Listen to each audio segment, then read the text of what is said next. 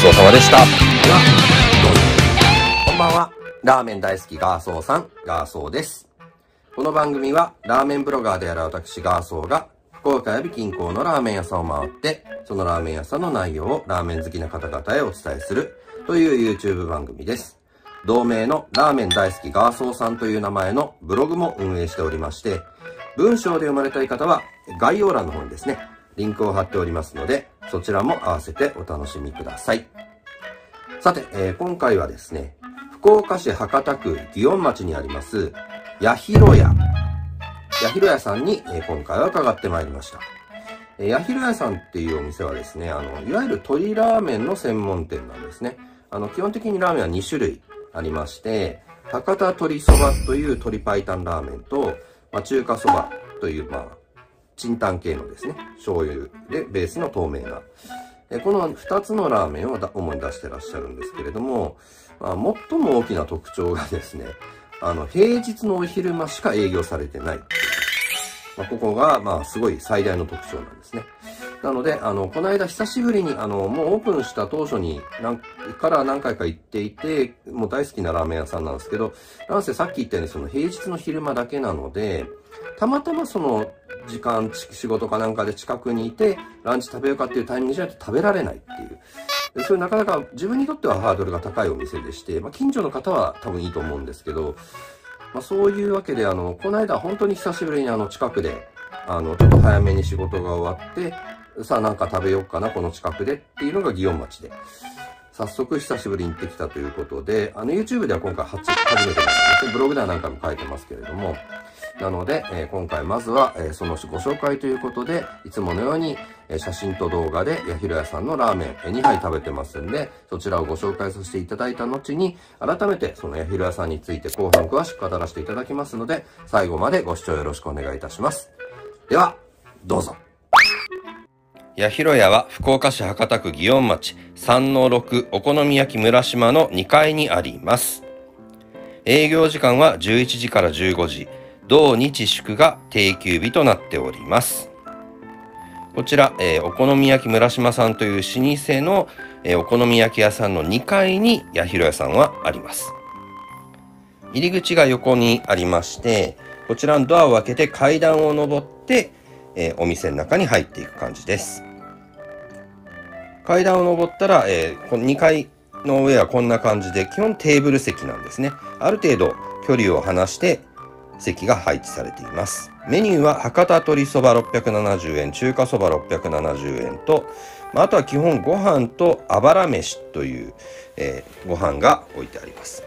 卓上には、えー胡椒と、まあ、あとはレンゲ割り箸、爪楊枝、アルコールスプレー、お冷やなんかが置いてあります。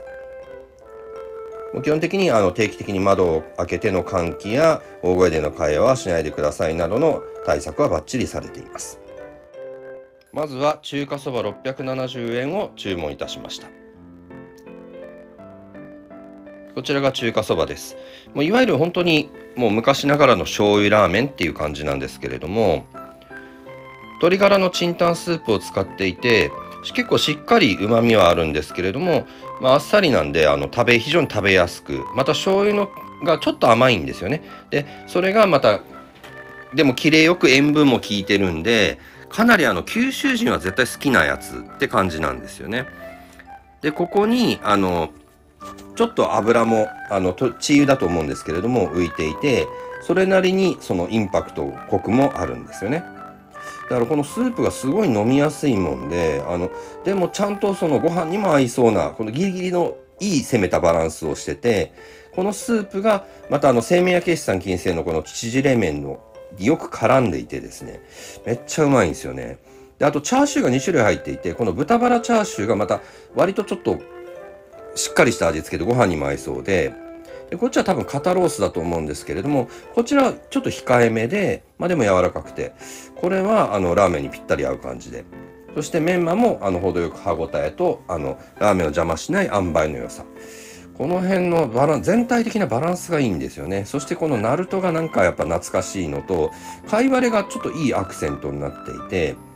本当にあの全体的なバランスが良くて、あっという間にスープまで飲み干してしまいました。いや、うまいっすね、やっぱりここは。次に、あの、あばら飯を注文してみました。あばら飯は、あの、てっきり軟骨かなんかなのかなと思ったら、豚バラ3枚ドンと乗った上で、刻みチャーシューも乗ってて、それをタレをかけたやつで、これもかなりうまかったです。肉食ってるって感じでしたね。次に、博多鶏そば670円。こちらは、ちょっと水炊きを思わせるような黄金色のチンタンスープで、濃度はそこそこあるんですけれども、濃すぎなくて、でも、あの、がっつりしたうまさがあるんですよね。そして、この真ん中のレモンがものすごいいい仕事をしていて、このちょっとの酸味が全体のバランスをすごくとってるというか、あだから本当にうまくて手はと手間とんな止まんないなっていう感じなんですけれども、食べやすいんですね。このレモンがあることによって。今流行りだと、あの、これをブレンダーで泡立てて泡系にしちゃってっていうのも流行ってますけど、いや、あえてそれをしていないことで、あの、その重厚感もちょっと残しつつ、これがまたあのスープの良さをよりあの強めているというか。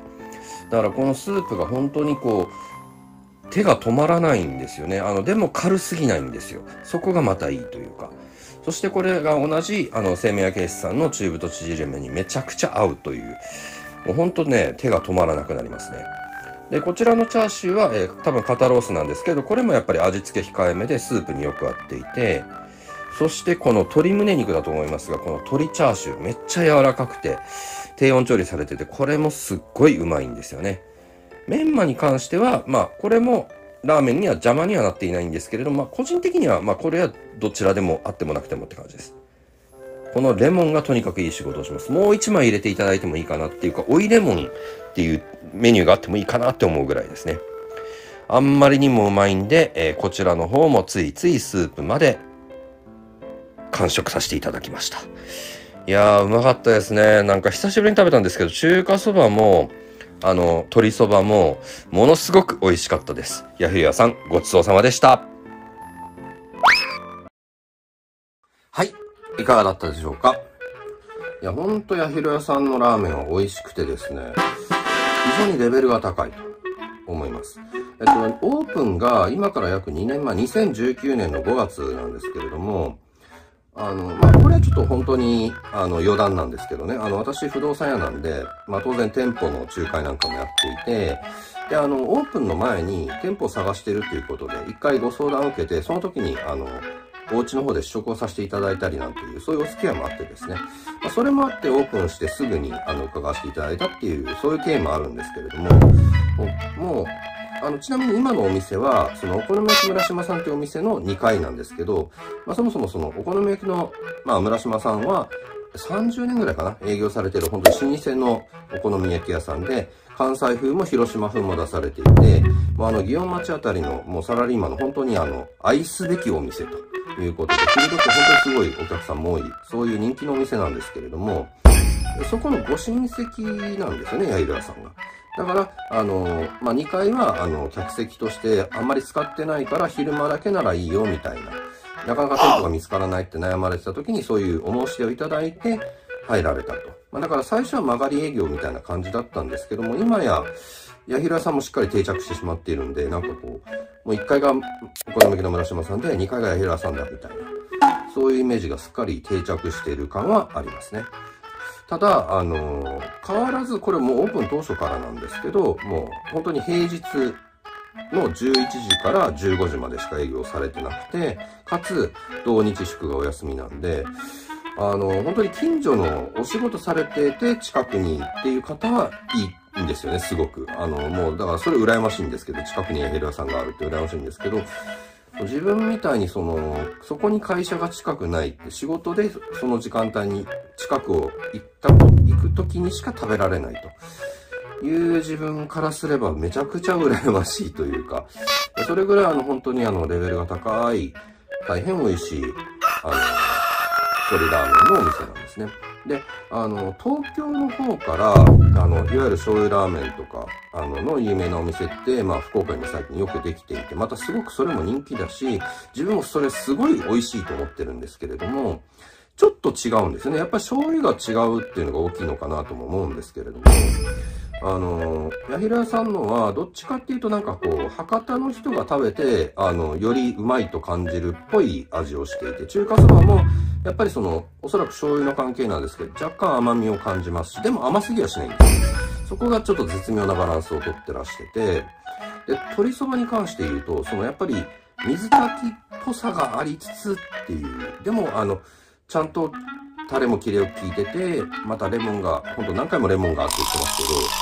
けど、いや、レモンがいい仕事するんですよ。で、あと、生命ケースさんの麺が、これ、多分麺の太さは18番前後だと思うんですけど、まあ、これがですね、あの麺量が 150g ぐらいこれあるんですね。だから1杯のボリュームが結構あるんですよ。まあ、私はその、まあ、2杯ぐらい食べないと足りないですけど、一般的な男性だったらあれ1杯、まあ足り、当初食べる方でも、それプラス、まあ、あばら飯かご飯つければ多分十分お腹いっぱいになれるんじゃないかなと。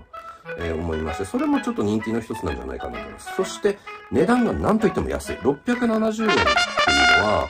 で、これもまた中華そばとも鶏そばも同じ値段で出してらっしゃるんですけど、いや普通に考えて鶏そばの方はもっと高く取ってもいいんじゃないかと、濃度を上げるためにそれなりに結局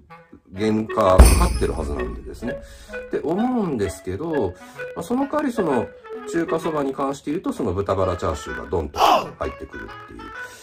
まあ、どちらにしても食べ応えが、だからボリューム、その麺のボリュームもあるし、スープも結構入ってるし、具のボリュームもあるしで、すごい食べて満足できるっていう。で、味も美味しいっていうことで、だから、すごく人気なんですよ。だから昼間にですね、自分も本当朝一、あの、たまたま早めに終わったから11時ちょうどに入っていて、だから、店内の写真とかも、まあ、いいですかっていう声を撮らせていただいてますけど、そのすぐ後にもう、どんどんお客さんが来て、だから自分ももう、バタバタ食べて、それから、あの、ごちそうさまでしたと出させてさせていただいてるんですが、もう本当にあの、あっという間に店内満席になってるんですね。今コロナ禍にあって、あの、以前より席数やっぱちょっと減らされていてですね、なるだけその、距離が空いた感じに営業されているんですけれども、まあ、大将とその奥様とお二人でちょっとやられてて、それもちょっとアットホーム感があって、いや、本当にあの、もし、あの、食べたことがない方は、八広屋さんは一回食べる価値があるラーメン屋さんだと思いますので、しておきます。では、えー、今回、この八広屋さんいいと思ってくださった方は、ぜひ、高評価、並びにチャンネル登録もいただけますと、今後の励みになります。よろしくお願いいたします。では、最後までご視聴いただきありがとうございました。またお会いいたしましょう。それでは、失礼いたします。